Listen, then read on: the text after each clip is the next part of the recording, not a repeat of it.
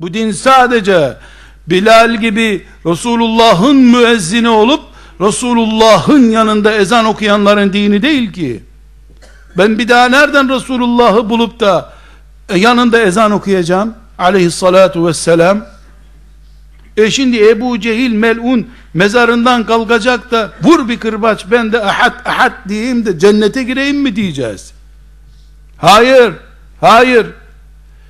Ebu Cehil veya Übey ibn Halef o melunlar Bilal'i kırbaçladılar. Bilal oradan Allah'ı buldu.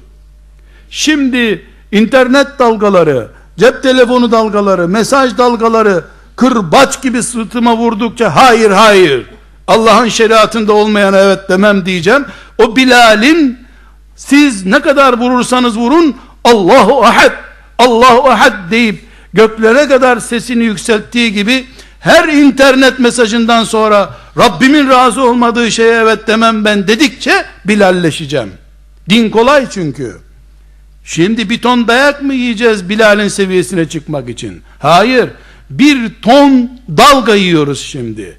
Televizyon frekansından, cep telefonu frekansına kadar o frekanslar Übey ibn Halef'in kırbacı gibi sırtımızda ve beynimizde yankılanıyor şimdi.